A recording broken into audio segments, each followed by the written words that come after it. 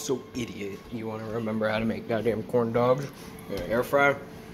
You make sure that is at uh, 400. Make sure the time is at uh, 13 minutes. You get perfectly cooked corn dog.